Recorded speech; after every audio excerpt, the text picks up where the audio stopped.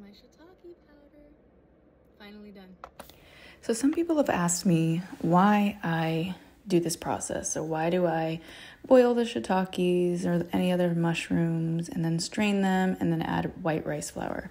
Well, for one, white rice flour is really good for your skin. So, these are in my masks um, anti inflammatory, antioxidant rich, really provides good things for your skin. But the real reason is that many of the B glucans and proteins that are medicinal and good for your skin in mushrooms is water soluble, which means if I were to just take these mushrooms and grind them up, for one thing, they wouldn't be very smooth and they wouldn't mix with the clay very well, but they also wouldn't have their properties extracted. So by extracting it and then adding flour to it and then grinding it, it not only gives me that fine powder, but it also ensures that all the nutrients are in the product.